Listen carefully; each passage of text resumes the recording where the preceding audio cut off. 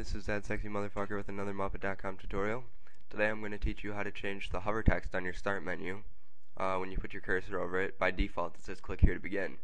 Um, we're going to use a program program called Resource Hacker to do this. Um, it allows you to edit the string tables and icons of programs, or .exes actually.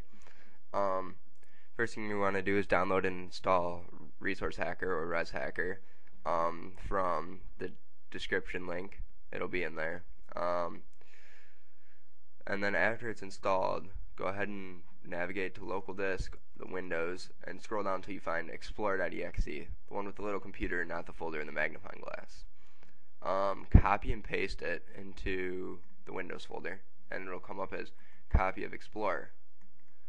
Um, rename it to Explorer1.exe is what I use because I find it easier to uh, put into the registry later in this tutorial. You'll see what, what I mean. But um, once that's done, you can go ahead and minimize the Windows folder.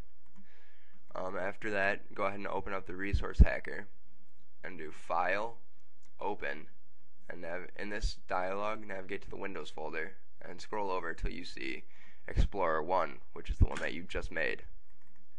Open it up and all this stuff will pop up in this white box go ahead and open up the string table and folder 34 and click this green icon. On string 533 it says click here to begin. Um, you can change this to whatever you like and then that'll be the hover text once we finish this tutorial.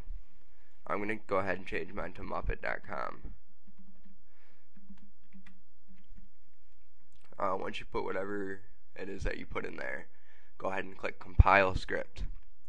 Once it's done compiling, you'll notice that this is no longer clickable. That's how you can know if it's done. You can't click it.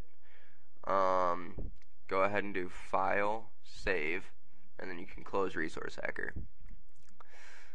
Uh, next thing you want to do is go to start, run, and type in regedit. That's R-E-G-E-D-I-T, and click OK. This is the registry editor. It'll pop up once you're done. Um, you're going to want to navigate to the uh, H key local machine, click the little plus, and then go to Software, Microsoft, Windows NT, current version, and then come down to Win WinLogon, and just click Win WinLogon. Don't click the plus. And then under Shell, you're going to want to click, double click it, and change. It'll say Explorer.exe. Change it uh, it is case sensitive, but change it to uh, whatever you cop your uh, copy of Explorer that you saved in Resource Hacker is. Um, mine's Explorer1.exe with a lowercase e.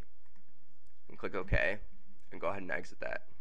Now all you have to do to get your hover text to work is restart your computer and uh, put your mouse over it, and it should be what you set it to. Uh, thanks for watching. This is that sexy motherfucker with Muppet.com. Uh, please subscribe to our feed and join our website.